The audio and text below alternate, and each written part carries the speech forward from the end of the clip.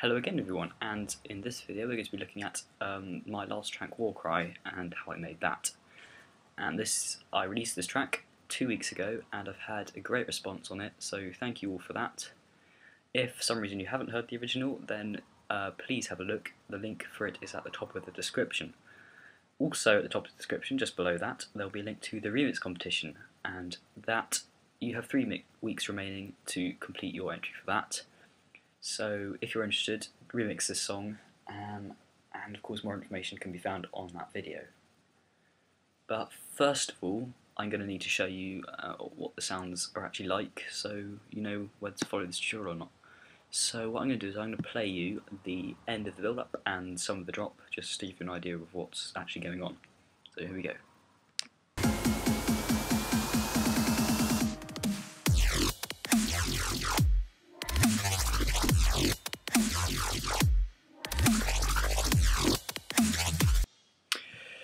And that continues obviously. So uh, let's have a look. How do we start this? So each individual sound, um, well, each bass sound that's playing is made up of two um, two tracks. First one is the bass sound. Second one is a sub bass which goes with it. Uh, and I'll get why to I'll get around to why I did that later. Um, and uh, yeah, I'll just get to that later. But let's look at the bass first. So this bass was made, uh, um, well it's the same patch as I often use in quite a few of my more recent songs. So that for that reason I'm not actually going to take you through a few of the features in this because uh, I've already got a video on it. So if you want to know exactly how to make this, then go to a video on my channel called xKore Getter Growl Bass. And there you will find a tutorial, a massive tutorial, um, of how to make this exact sound. So but if you don't want to do that, I'll just go through it quickly. There's um, so you can just copy it across. That's what the oscillator tab looks like. That's what the voicing looks like. Double notch band reject, classic tube, dimension expander, EQ. I think uh, you should have um, been able to copy that across by now. But actually, for this sound, it's not the original patch that really does it. It's the effects. So this is what it's. This is what just this bass sounds like without any um, uh, without any of the other drums and stuff. So.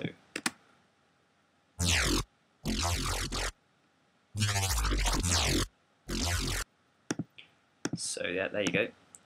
And now if I were to play the sounds by itself like this, that's with the effects, and this is without the effects. Or so you will hear quite a big difference um, to with and without. So, so let's go through what effects I put on. First effect I put in my chain is this uh, rather useful little plugin. My fatness is at 35% and my colour is actually all the way up. Uh, gain is naught. Um, yeah, naught. Um, flanger is the next one on there, and this is quite good because it gives you this. Um, that's with it, and this is without. So that's quite clear what that's doing.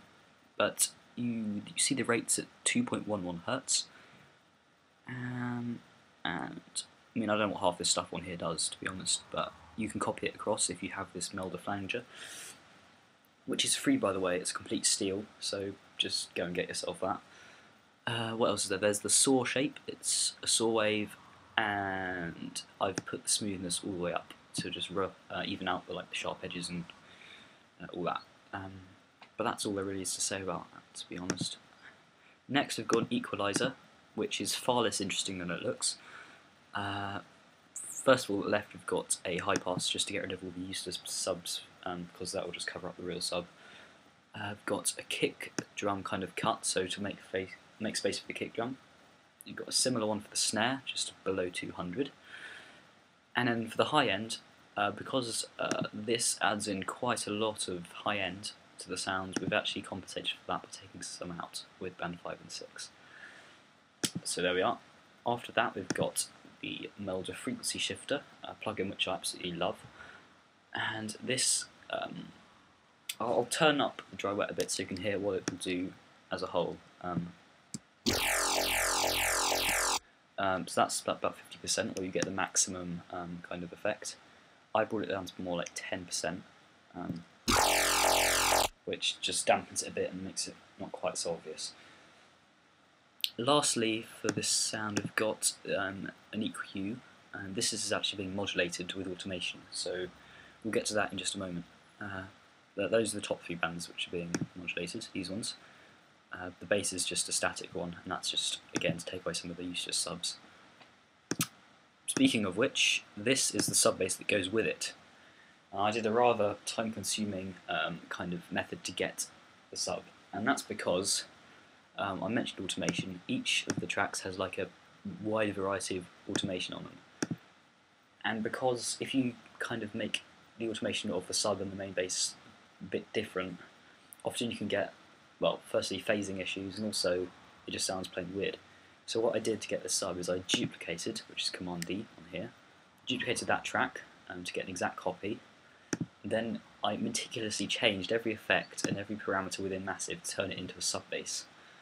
And all that, that just preserved the automation and pitch bend and everything, just so I didn't have to let it sound weird. And I realised that would be a lot easier if I was using a different DAW or DAW, like I know FL Studio does something like that. Um, but of course, uh, I am a GarageBand user, so oh well. So what else? You got? So the sub like, um, yeah, you got it's a sine wave like most subs you'll get out there. It's got macro three on the pitch, macro four on the amp, um, and those. That's also the automation. Um, I might talk about that later if I have time. But as subs go, it's just a standard boring one. Yep, and then you've got a few effects. You've got some a small amount of distortion, 4% on this, um, and 35% colour. You've got a wave shaper, which is just doing this sort of shape to it. You've got a tube amp, which is just warming it up a bit. I mean, it's quite a subtle effect if you use it well. When I actually used it on the master track for this song, um, maybe I will do a video on what I do to master tracks. Um, but this is one of the things I actually used um, and I just used it to give it a bit more character and kind of warmy fullness. And then a limiter, of course, and then just took some stuff out on the final EQ. But yeah, the sub basses go, it's a pretty standard thing. Um, but yeah. And now let's get onto the automation because that plays a massive part in this track because um, like if you're going to make any kind of exciting dubstep, you do really need a lot of modulation to keep people interested long enough. And the bass here is five um, kind of um, automation clips. This one looks like it has five, but actually only has three, or maybe two, uh, depending on how you look at it. Um, so let's start with the bass, which is the kind of the best bit of the automation. First of all, macro 3. And if you go into massive, you see macro 3 is the pitch and the pitch has been assigned to all of the oscillators um, being used. Let's just go to the right, um, go to here, and it's going up 12 uh, semitones. And if we zoom in a bit, you can see the automation is kind of a downwards pitch bend, which sounds like this. Um, but and that just remains the same for most of the times this sound appears, so it's pretty standard. Um, macro 4 is uh, this is kind of an interesting thing. If you go into the patch and go into Performer 7, um, 7 is being used as an envelope. So you see it's assigned to double notch, and that just basically means it just going up on a boring upward curve. But for this sound, I wanted to be a bit more kind of crazy with it. So instead, I assigned macro 4 to the amp. So this means when I move macro 4, like this, I get that. And so I'm using 4 as a custom envelope, and that's the kind of curve I'm using for it. I mean, it's not a curve, it's a straight lines, but you get the idea. And the, cut and the reason I duplicated it is because I wanted this to be exactly the same. Um, to, so I duplicated to get the sub bass, remember? And that's just to keep the pitch bend and think the same. And yeah. But of course, for the sub bass, the macro 4 isn't going on like any filters because it doesn't have any, instead it's just going on the amp. Um, yeah, anyway, back, what was I doing? Um, yeah, the EQ modulation. Um, remember I was talking about that? Uh, remember this? As I play it, you might see it move if you're lucky. A look. I mean, it was probably lagging so much you didn't even see that, but just just have to trust me, it is moving. Um, but yeah, we've got low, mid, high, mid, treble. Um, I mean, quite subtle moves on treble, but you see these are a bit more obvious in their movement. And that's all there is to this. This one, of course, um, there is, because I pretty much turned off the EQ apart from one band, um, most of these are pretty irrelevant, even though the clips are actually still there. But don't don't even worry yourself with that. That's all good. So that's all there is to the bass sounds. Um, you'll see for each bass sound there is two tracks, like I said earlier. Um, so, and occasionally some of them do vary. Like this one has a tremolo instead of a instead of a frequency shift. That's just a, a decision I made over there. Uh, but that's all the information you need. It's 16 triplets, 65 depth, and the same is being done probably on the sub. But yeah. So that's the exciting sound mainly done. There is another thing you might be interested in, and that's this kind of motorbike sound effects. I mean, it really does sound like a motorbike to me. It sounds like this. If it didn't lag, but yeah. Uh, so that's made up of four um, this time. One of them is a sub, like before. I'll just quickly show you that. Uh, it's got the tremolo on it, and that's the initial patch thingy. Um, apart from the sub, the mm, one of the two main things which is doing this is this kind of weird sounding.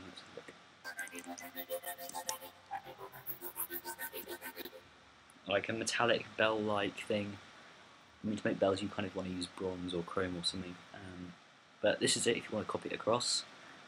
Um, just to keep it short, I'm not going to go into mathematics detail on this either. But this is what it looks like. Yep. And macro 1 here is being put on the pitch. And that, the pitch bend is actually is being modulated there with macro 1. Along with actually the tremolo depth um, for here. Just because as you hear it, uh, you see the tremolo gets more and more pronounced as time goes on. Yep. So as well as that one, we've also got this Formanti build-up, which is incredibly boring. Um, it, yeah, you see there all formats of the oscillators. Um, that's actually turned off. Just a simple scream filter, and pitch again is on mac with macro one and put on there, one octave. Sub bass I just beat, already been through, and then there's this. This is like the other growls. And that same growl as before, like I said. Um, macro 3 this time is on the pitch bend, which is doing that kind of curve like on the others. Uh, we've also got this, we've got the flanger. This time we've got a saw wave, but upside down. And I did that because there isn't um, an option for an upside down saw wave. You actually have to do custom shape and draw it yourself. But that's quite simple to do. You can do this sort of thing with it. You can make any shape you want. Um, but yeah. And then same settings. That was I think. Where's the rate? Oh yeah, I sync the rate to half beats.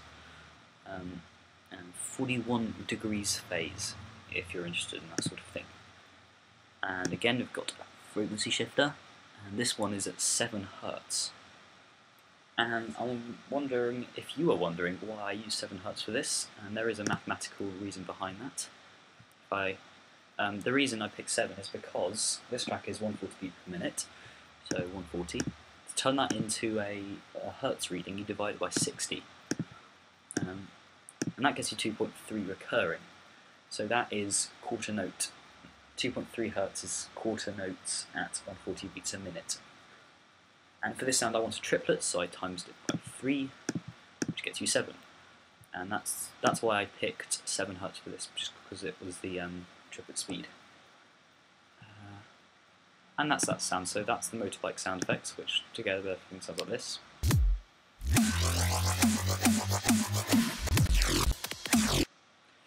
Um, the only other sound, or bass sound, in this um, track is these two, and these are this kind of cool frequency shifty thingy. Um, and this is the very different definition of the um, plug-in frequency shift. It says like this. Oh yeah. So first one, like usual, is a sub bass with uh, some distortion, so a tremolo going at 7 hertz like before, and a basic equalizer, and that's the massive patch. The growl, um, which is the cool bit of this, is the same sound as before, no fancy automation, but this time it has two frequency shifters on it. Um, one didn't quite get me enough of it, this is with one, octave. When I added the second, you just hear it becomes way more pronounced. And as well as that, we've got our standard distortion at 47% in full colour, and the tremolo uh, 7 hertz again, and also some of that. Right, um, I believe that's everything that I really actually wanted to say about the basses. I could quickly show you the drums. I've got these glitchy kicks, which these are made by taking all the bass out of a kick drum um, making it mono, this thing loads, see that's the mono line, and then also I for this one I shifted the formats up 7.87 semitones. For the second one, which is the slightly lower kick drum, again I took out all the bass, but this time I didn't do any format shifting. So together that sounds like this.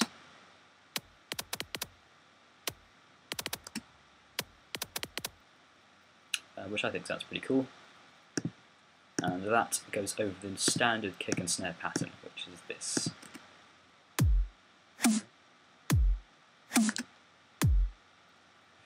And I've also got this kind of little inhale thing, which goes just before the snare.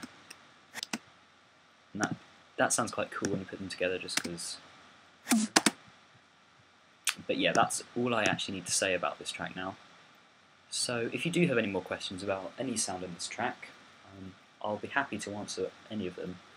So, like, just leave a comment in the comment section or message me on uh, SoundCloud or Facebook or wherever you can find me. And um, in most cases, I'll be completely happy to answer your questions, so please do ask. And if you haven't, check out the original track. Hopefully, this video has inspired you to have a look at it.